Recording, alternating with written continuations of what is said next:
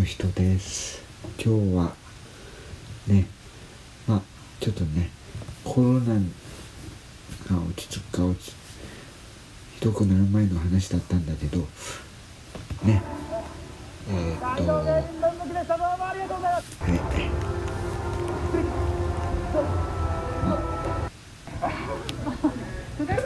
なんとか接続イベントの中で、まあ、3代目の車えっ、とダイハツロッキーのカスタムをちょっと見たなっていうやつちょっとました、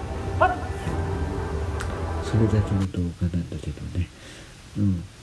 どうかな？はい。そういうところで。はい。どうぞ。